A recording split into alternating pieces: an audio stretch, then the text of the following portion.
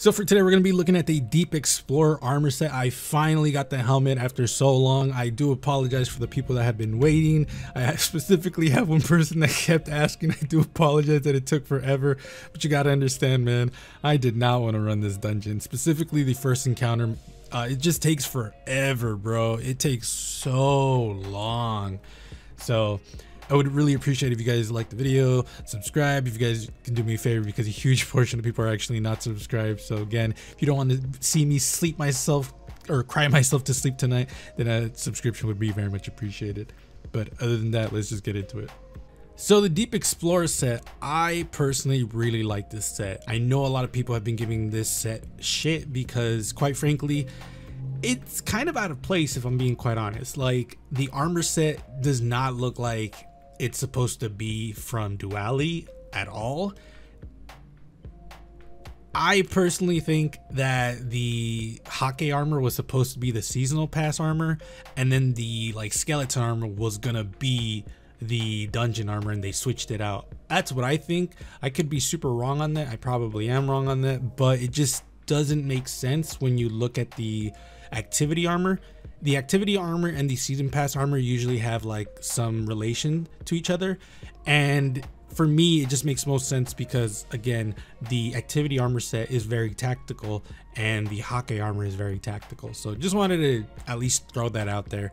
But as for how it actually looks again i think the best pieces are gonna be the chest pieces. I say again because i did do a tactical video where I explained that for me, I think the best pieces are the chess pieces.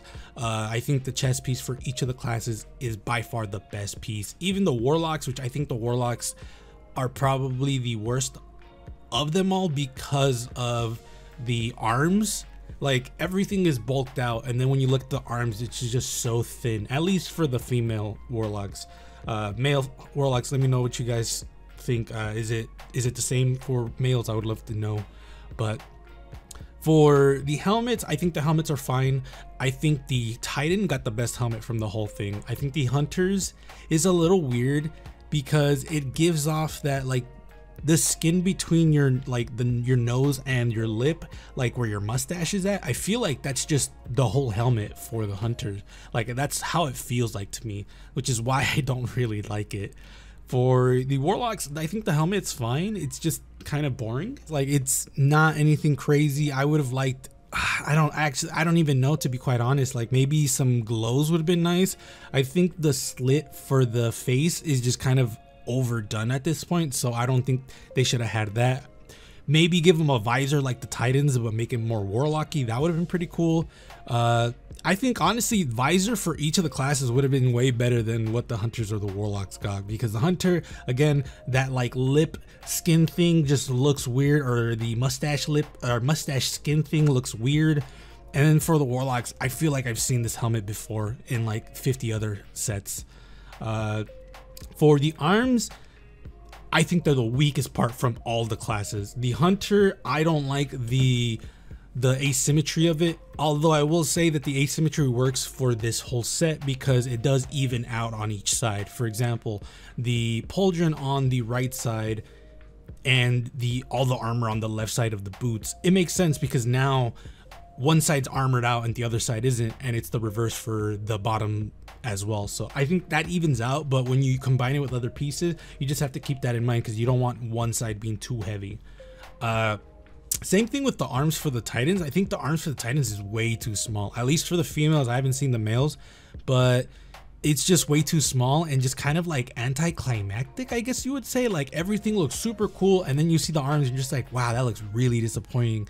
Uh, maybe if the shoulder or the gauntlets, not gauntlets, if the the pauldrons were a little bit thicker, I think it would have been way better. It's just that it's such a weird choice to give them that weird like two pieces of armor there. Just it, it, looks it looks weak compared to everything else. As for the warlocks i think the arms are really really cool. I really really do like them. It gives off juggernaut feels like the chest piece.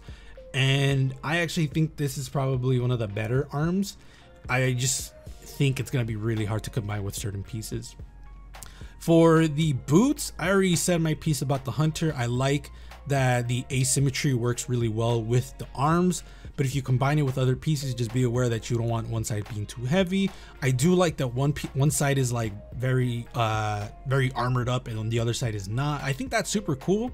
The only problem that you'll encounter is combining it with other angular pieces, which the hunters don't have a lot of angular armor. And when we do, it's usually either unshaderable or it doesn't work to this armor's favor. So just be aware of that. The Titans have have the best uh, boots in the game, hands down. They have the best boots from this whole set. I think it's super dope.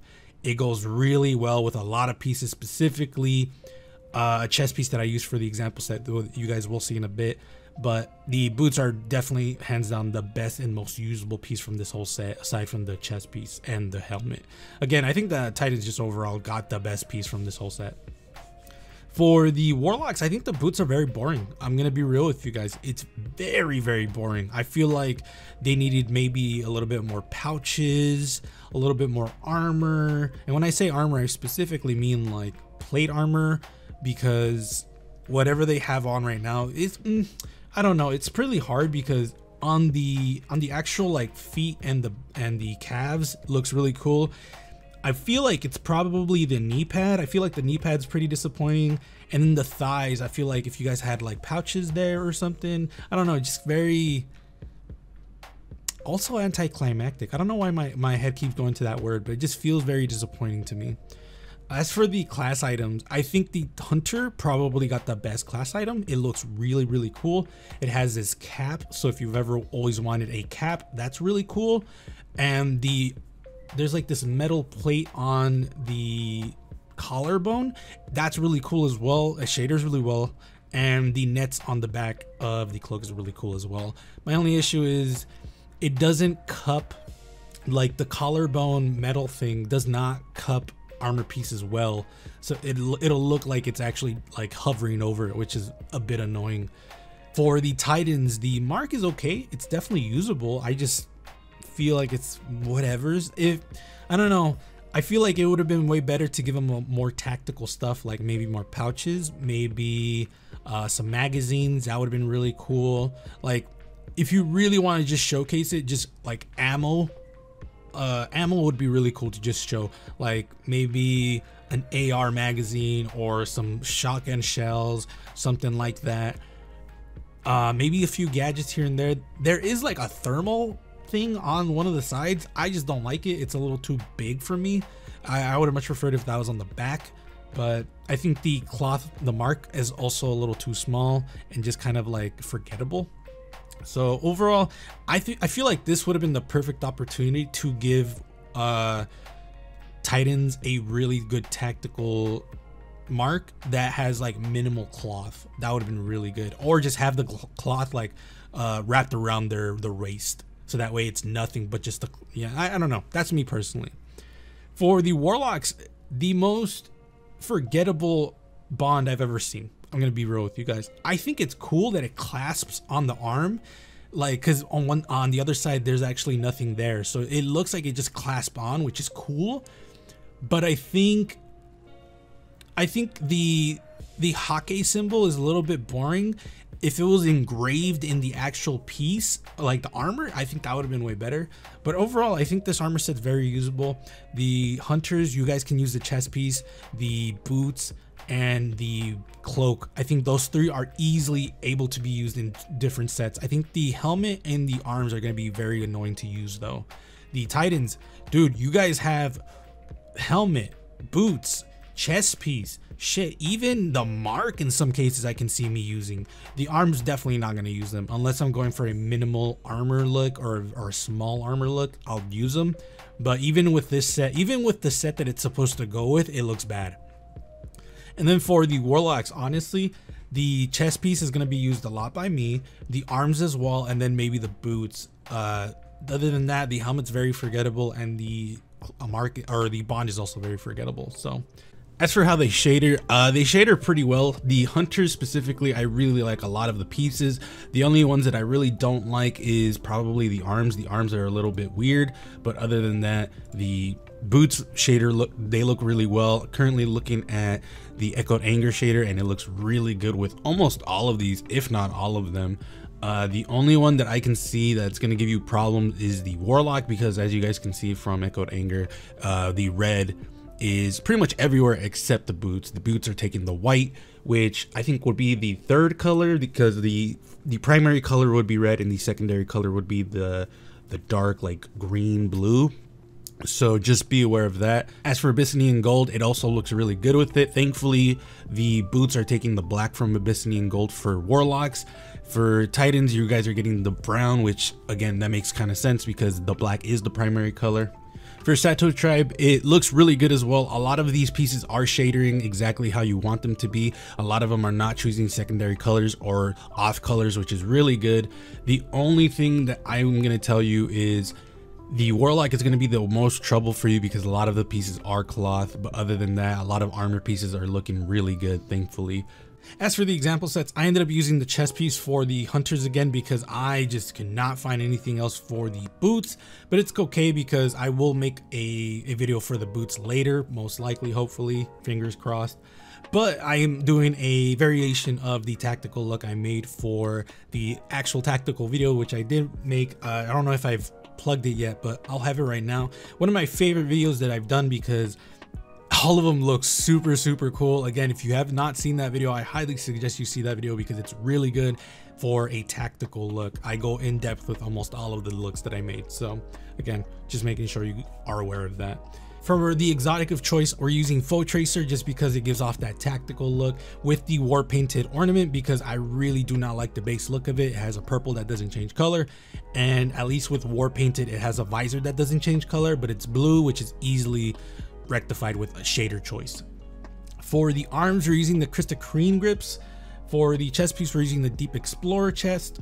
For the boots, we're using the Dimosborn strides, and then for the mark or the cloak, and for the cloak, we're using the Psionic Stalker cloak.